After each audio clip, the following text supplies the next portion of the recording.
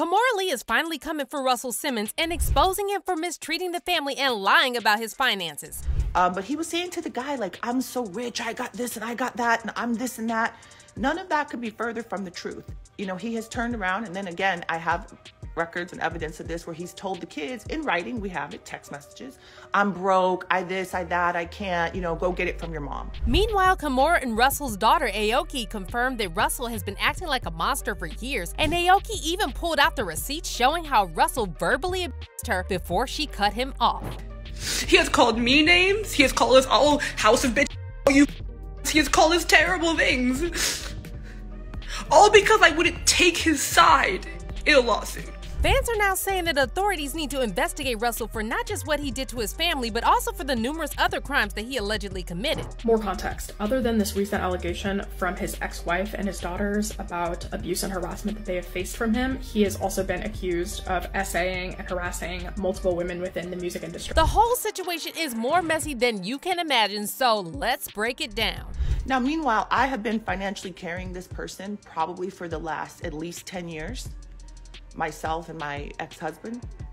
Again, this is all proven with receipts. So if whatever somebody doesn't like what I'm saying, you know, we can talk about it. We can come, we can open up our receipts. I, I love it. I love receipts. The allegations against Russell Simmons keep stacking up, and it's really insane how this man managed to gaslight the whole world into believing that he's a top boss when his ex-wife Kimora has been financially supporting him for years. To give you some context, Russell's problematic behavior can be traced back decades, and the first major red flag is the age difference between him and Kimora. They first met in 1992 at New York Fashion Week when Russell was 35 and Kimora was just 17 and still a sophomore in high school. Of course, Russell later claimed that they didn't start dating until Kimora was 18, but who really knows? This man has been exposed for lying so many times that we really can't take his word for anything. Besides that, a 36 year old man dating an 18 year old girl may be legal, but it's problematic and disgusting. Anyways, after several years of dating, Kimora and Russell tied the knot in December 1998. Now, over the course of their marriage, they welcomed their two daughters, Ming Lee in 2000 and Aoki Lee in 2002. However, Kimora and Russell's marriage wasn't built to last, and in 2006, they announced that they were going their separate ways. Now,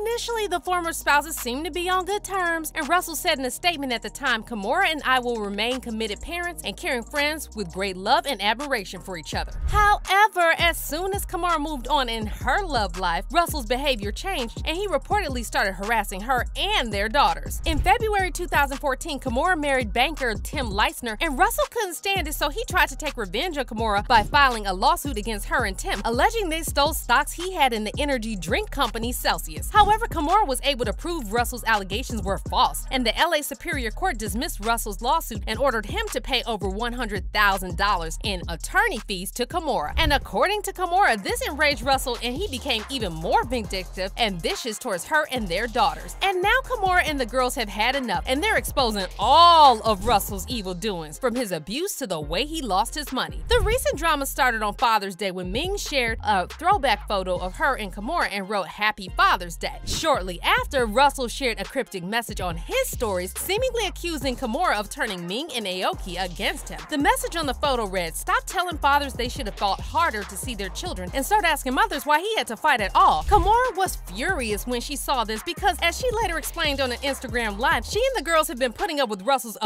for years, and she's been supporting Russell financially the whole time. According to Kimora, Russell didn't even attend Ming and Aoki's recent graduation ceremonies, and yet he kept posting photos of the girls on his Instagram and acting like he was involved in their lives. Kimora also hinted at the alleged grooming she suffered and broke down while talking about how hard she tried to make things work with Russell for the sake of their kids. I was a very young, um, probably too young uh, bride. So I had these kids very early. And you guys know how much my family means to me, and you know how much my kids mean to me. And you guys know, all of you that know me, absolutely know what kind of um, mother I am and what kind of family dynamic I have over here. Um, I think it's very important for you all to know. Um, if you look back in our history, I have always been the type of co parent. You know, we were actually very famous for our co parenting abilities and, you know, how we always put the good face forward and the good foot forward to the world. So you guys know that. As Kimora explained, Russell's behavior changed when he started losing money, and then the court dismissed his lawsuit against her, and Russell completely lost it. This ex in question uh, brought a lawsuit against me and my and my family.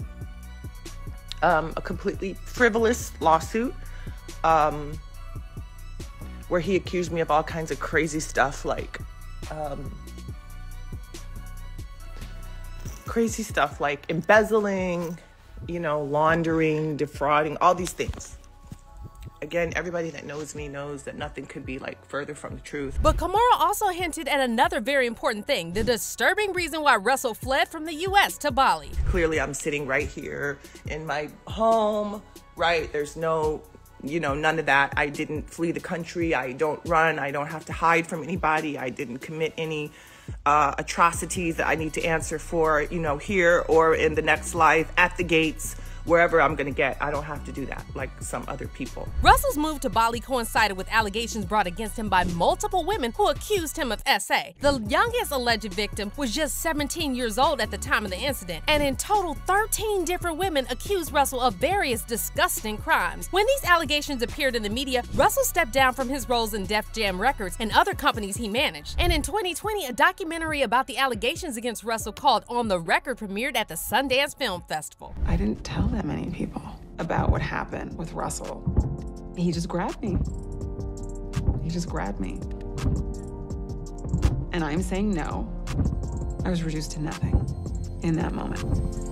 But before the documentary aired, Russell left the US and moved to the Indonesian island of Bali. And despite claiming he moved there to pursue his yoga lifestyle, it's more likely that he picked Indonesia because this country doesn't have an extradition agreement with the US. Anyways, Russell started spiraling when his evil deeds were exposed to the world and he took out his anger on Kimora and their daughters. According to Kimora, the girls cut off Russell because he kept harassing them, and yet Russell kept lying to the world about their relationship. You'll see on their page that they post all these pictures like we're together, like we're friends. They've even posted pictures and then said like, I just got off the phone with my kids. They sent me this great picture.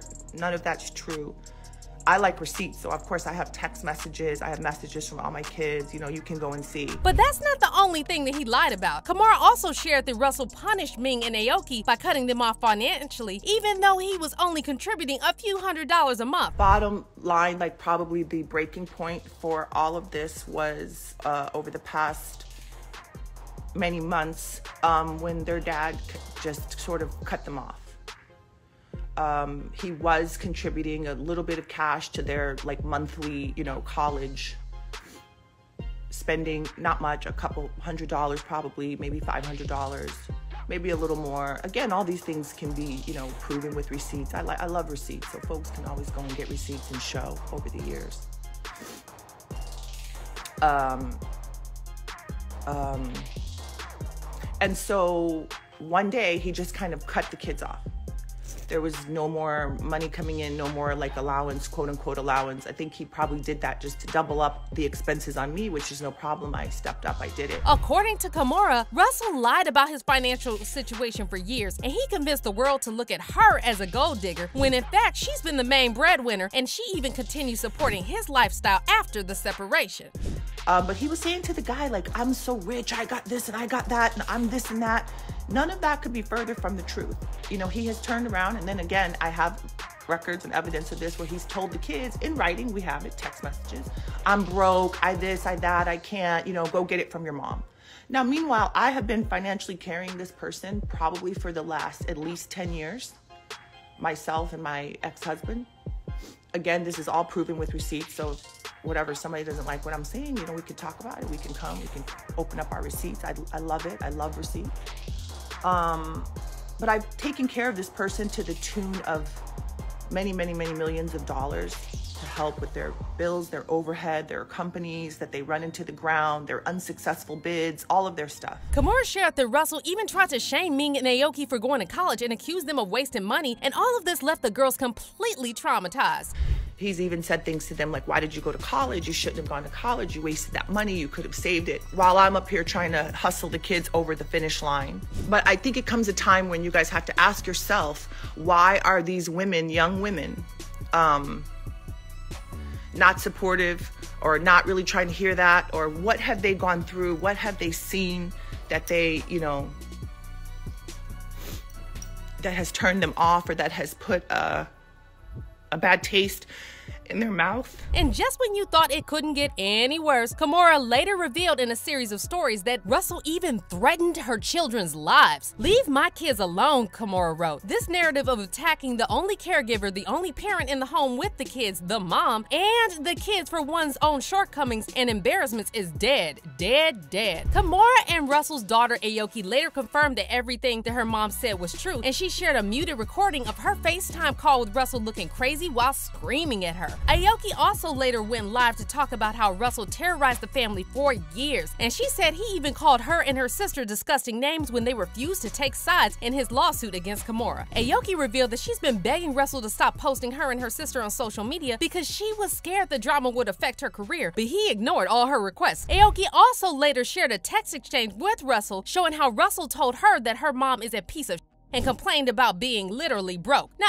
as for fans, they are completely horrified, but not surprised by these allegations against Russell. Are people seriously surprised by Russell Simmons' behavior? One fan said. Underneath all that love and light BS always hides the darkest, cruelest, and most vindictive people. The gaslighting, the spiritual bypassing is very effed up. And another fan wrote, I'm not surprised by Russell Simmons. He's always giving me creepy grandpa vibes. That spirituality shit he pushes was not fooling me. It be them ones. But what are your your thoughts about Kimora and Aoki exposing Russell. Were you surprised by all these new allegations against him? Let us know in the comments and don't miss out on this next story.